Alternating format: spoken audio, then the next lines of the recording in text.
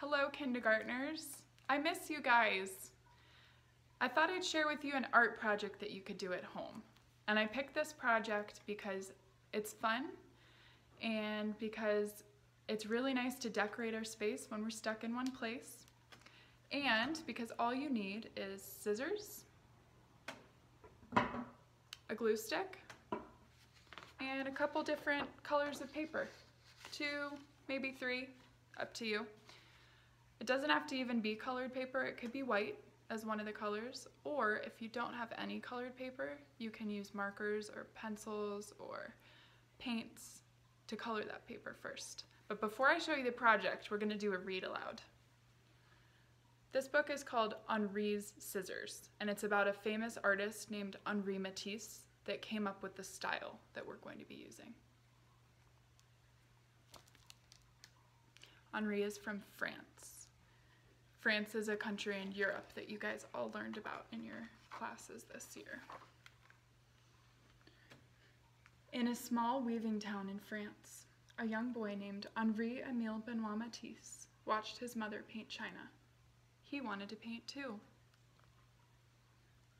He has a very long name.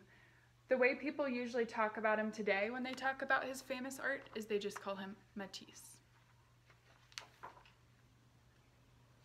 He drew pictures in the sand, and he drew pictures in his school books.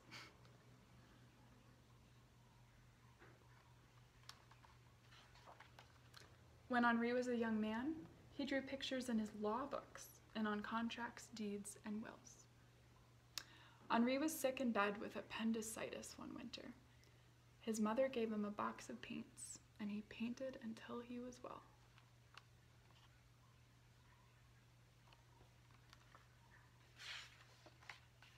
He kept on painting, forgot about law, and left his small town to be an artist in Paris. Henri repainted pictures day after day and year after year.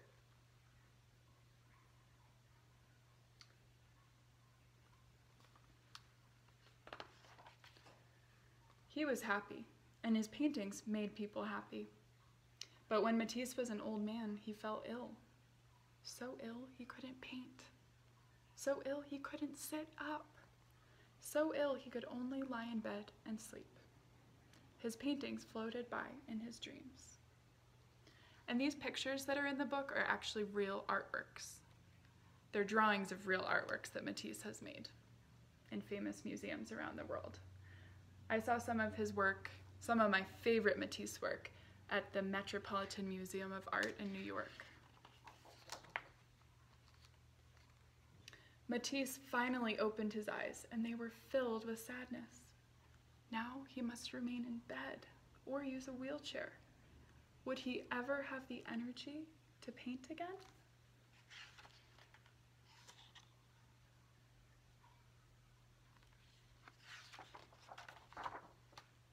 When Matisse was strong enough to travel, he went to the seaside.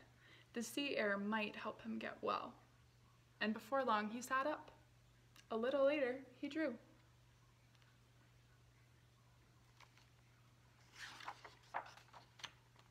Then, one day, Matisse picked up a pair of scissors and cut out shapes from painted paper. He was drawing with scissors. He said, a pair of scissors is a wonderful instrument. Look at all the cool different shapes he made. There's going to be a lot more shapes too. Pay attention to these pictures. I'll spend a little extra time showing them to you. It might give you some inspiration for your own. Matisse cut paper all day. He said, My pleasure in cutting things out grows even greater. Why didn't I think of it earlier? His assistants painted paper for him all day. So this is why I said if you only have white paper at home, you can color it yourself because that's the way Matisse actually did it in real life. But it's a little easier and a little neater to start with construction paper or colored paper, so really you have options. It seems to me, he said, that I am in a second life. paper cutouts covered his walls. Look at these and see if you have a favorite. I really like this one because of the contrast in colors. They're very different, so they have high contrast. I also like that type of organic shape. Organic because it looks kind of like a plant instead of like a shape with really straight lines. One evening, Matisse lay in bed and drew the faces of his grandchildren on the ceiling with a piece of chalk tied to a long pole. As he fell asleep, they looked down on him and saw his dreams.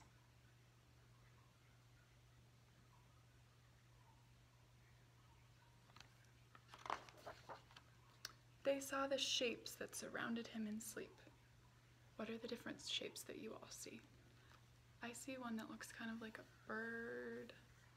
This one looks kind of like a flower, a heart, a circle, a sort of star shape in the corner. Part of it's cut off. But what do you see? Use your imagination.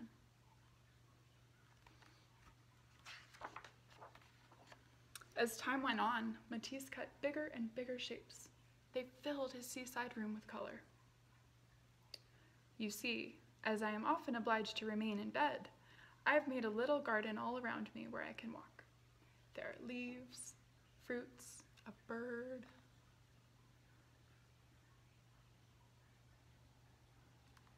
When you're staying at home right now, is there anything that you miss seeing? You could make art of what you miss, kind of like Matisse did. I am deeply contented, happy, he said. Look at how big these are compared to him. You can use different sizes of paper at home. Some of your cutouts can be really small and some can be bigger. Try different things.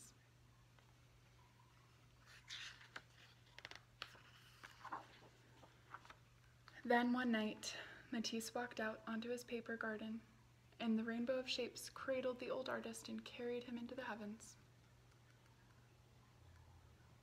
He was alive a really long time ago. He's not alive anymore.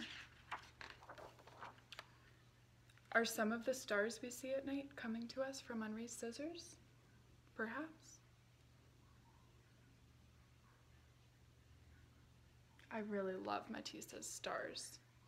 They're not like the normal five-pointed stars that we're used to seeing. They're a little bit different with each ray of light, and I love that. It's pretty fun to make. I made an example for you all and I'm also gonna show you the different steps that it took me to get here. But this is the type of thing it can look like when you're done. It's really nice to make sure that you have one big piece of paper for the background. This is the paper that you'll be gluing your shapes to. Then, with other paper, preferably in a different color, you can cut out whatever different shapes you want. And Matisse called it drawing with scissors. It really is. You don't have to draw anything first. As you cut, the shape is created. That's what makes it especially fun. So I really liked his plant-like shapes and his stars.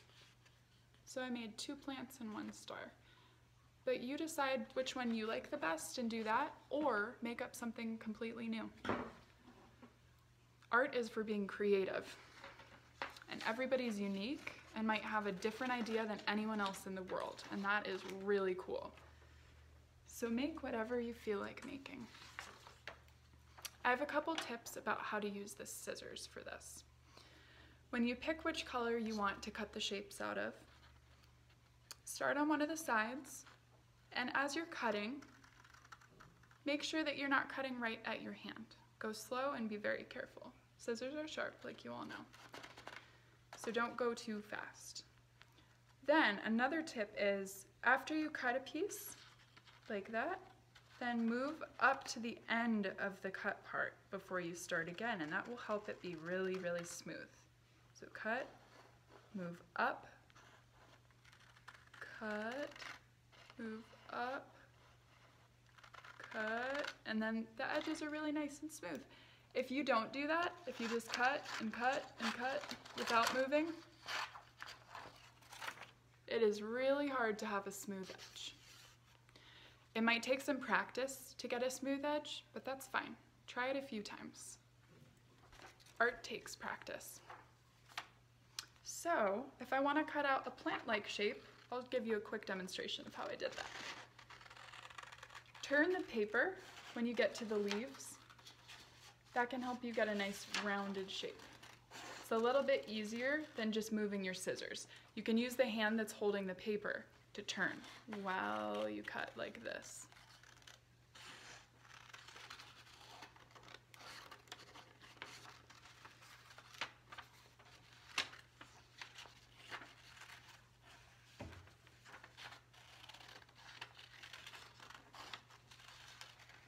When it comes to choosing what color you're using, you can make it kind of realistic, like using green for your plant, or you can be really creative and make it unnatural and use whatever color you want. I used blue for my star on this other one. There's not really such thing as a blue star. Usually they're the color of light, but when you're doing art, you can make it whatever you want.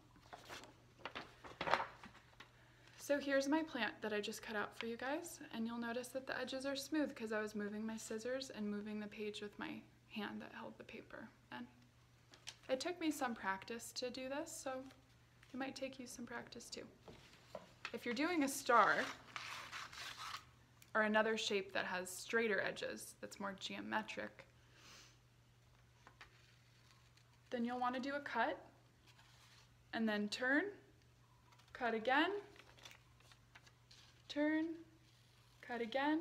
Instead of making round cuts, you're just making a straight cut and then changing your scissors direction.